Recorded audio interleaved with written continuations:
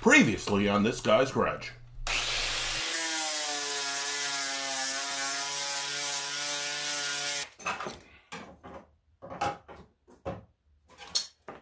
Today on this guy's garage, school is back in session. It's Auto Body 101 on MIG welding. First, I'm going to tell you how I set up my MIG welder. Then we're going to weld on a patch.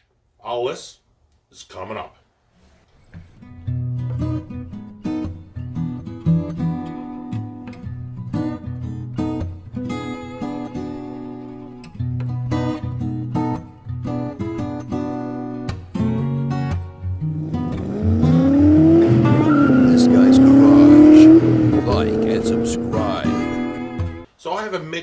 180, and that's a 220 machine. You can get a 110 machine that'll plug into the wall. Whether it's 110 or 220, it's really for doing body work. It's a personal preference. The most important thing is the setup of the machine. My machine, I set it up. I I put 025 wire in it. Why is this important? 025 wire is suited to the gauge of metal that I'm welding, which is mostly 18 gauge in body work. So 025 wire will keep the heat out. It will penetrate as much as it's supposed to without leaving a pile of slag or buildup behind. O3 wire is more more for welding structure. To set yourself up for success, you want to set your machine to weld what you're welding. As far as the heat setting goes, I have my machine set on the B heat setting, which is the second lowest. My wire speed's at two and a half. That's a good place to start. But have a look on the inside of your machine because there is going to be a chart there that will show you how to best get the closest setups for your for your MIG welder.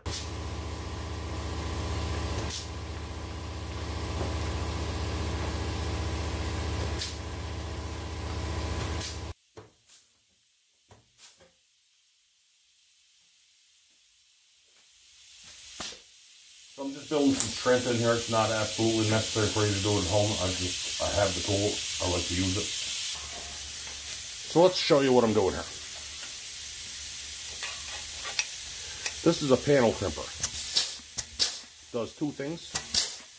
Puts strength into your panel and allows you for your patch to be welded in flush with no overlap. Also allows for spot welds,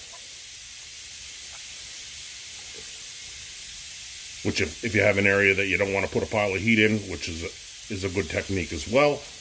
Not everything has to be solid welded. Have that fitting nice there, so get it welded up. So I have a MIG Pack 180. I'm going to start my settings on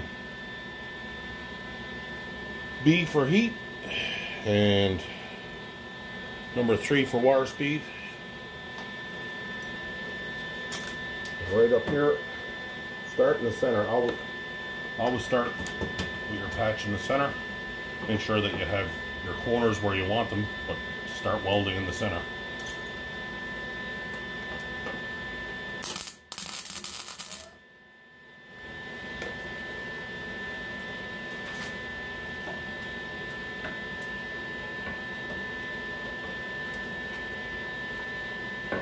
And where I punched my lines in, see how everything wants to turn nice and easy?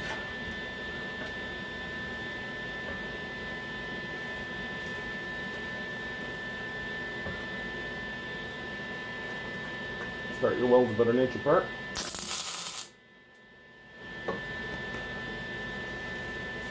Now that I have that close, I'll bring it all in a little closer.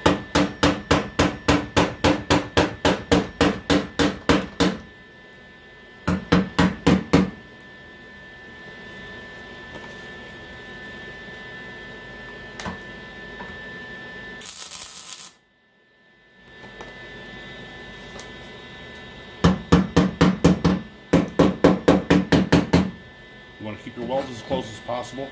Oh, by the way, I'm using an 023 MIG wire or 025. I think it's 025 actually. The smaller the wire, the less buildup you have in your welded areas.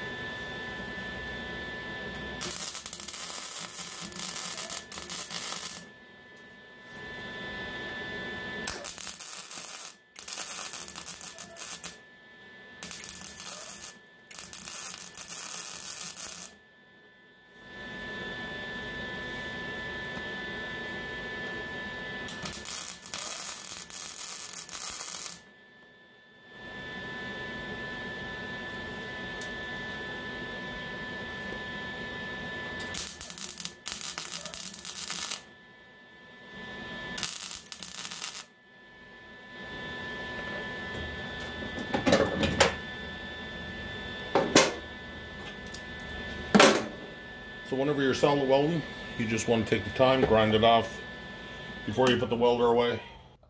Whenever you're putting a patch on like this and you're doing any kind of welding, I like to know I'm going to be in the shop for at least two hours before I leave to make sure that there's no fires can start because a fire a fire in a car can smolder for a long time before you before it catches fire. So give yourself lots of time.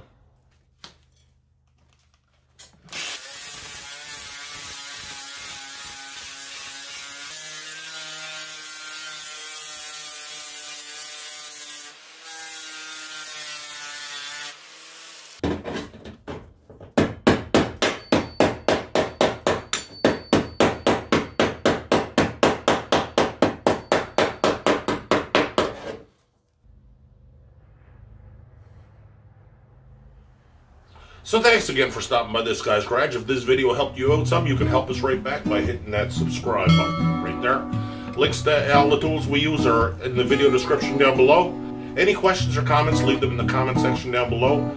Please like the video, and we'll see you on the next one. Till the next time, folks. This. This guy's garage. Like and subscribe.